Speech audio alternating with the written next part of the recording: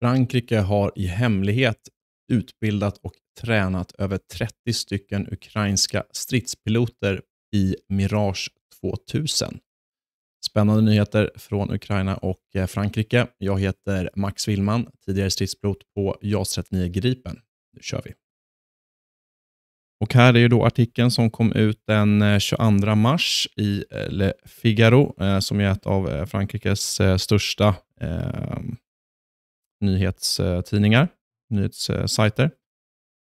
Och jag har översatt den här med Google Translate, så vi får väl se hur pass bra det är då. Men Frankrike Frankrike tränade ukrainska flygvapnet på Mirage och det är ju då Mirage 2000 eh, som eh, de kör. Och eh, Det här skulle tydligen då redan ha varit igång sedan i februari då och i och med att den ligger bakom en paywall så har jag plockat fram den här från Defense Today. Ni har ju två stycken Mirage 2000 där framme eh, och i hemlighet då så har man eh, tränat eh, i mer än en och en halv månad eh, ett antal då ukrainska piloter på eh, Mirage 2000. Och eh, Mirage 2000 är ju eh, ganska lik eh, JAS 39C i, i den meningen. Den har inga kanadvingar då, men eh, ungefär samma storlek och eh, ungefär samma förmåga och man har uppgraderat den till en ganska så het senaste variant. Då. Och den kom in då 1984, så lite innan 39 eh, och man har ungefär 99 i eh, flygvapnet och 40 i eh, flottan. Frankrike har ju ett hangarfartyg. Ungefär 30 då, ukrainska piloter har genomfört då den här accelererade träningen, eller håller på med den accelererade träningen på Mirage 2000 på två stycken olika eh, franska eh, flygbaser. Monte Marsan och eh, Nancy. Och Tydligen så har det här beslutet fattats redan innan eh, Zelensky var på besök i Frankrike. Han var ju på besök i Frankrike i början av februari.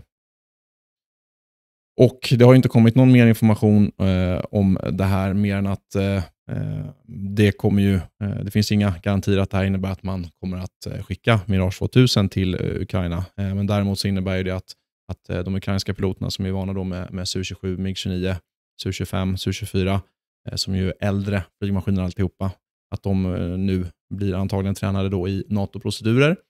De blir också tränade i ett eh, väldigt modernt stridsflygsystem, vilket gör att oavsett vilket stridsflyg som om något blir skickat till Ukraina eh, från väst, så går det då antagligen ganska så mycket snabbare att eh, utbilda de ukrainska piloterna på eh, den som väljs, den sorten som väljs.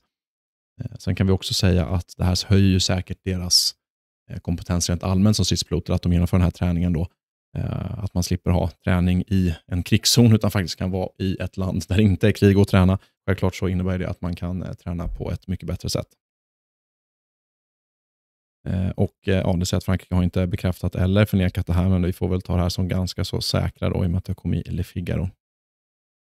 Det har också eh, enligt uppgift då, eh, tränats två stycken ukrainska stridspiloter på F16 i USA och även på i Storbritannien. då att, att de skulle eh, innebära eh, träning. Och eh, eh skulle tro att det var Slovakien som skickade fyra stycken MiG-29 eh, som nu har kommit fram till Ukraina också. Eh, MiG-29 som ju Ukraina alltså redan har, så det är ju ingen, ingen revolutionerande. Det är ju naturligtvis ett tillskott, men ingen förmågehöjare på det sättet, utan det är ju mer av det som de redan har. Och lite om eh, Mirage 2000 då. Eh, ska vi se, det är fly-by-wire och ganska likt 39 som sagt. Och den senaste versionen då, eh, 2000 5 Mark 2 eh, som är uppgraderad med bättre avionics, radar och eh, vapensystem. Eh, och Det är väl eh, förhoppningsvis den då som i så fall är aktuell. Den har exporterats till ett eh, antal olika eh, länder. Ja, annars eh, vet vi inte så mycket mer om vilket, om något stridsflygplan som kommer till eh, Ukraina, utan vi får helt enkelt avvakta och se. Men det var allt jag hade för idag och eh, som vanligt, gilla videon och skriv en kommentar för algoritmen, prenumerera på kanalen. Eh, jag överväger också att bjuda mig på en kaffe om ni tycker att jag ska fortsätta med det här. Och eh, tills nästa gång, så fly safe.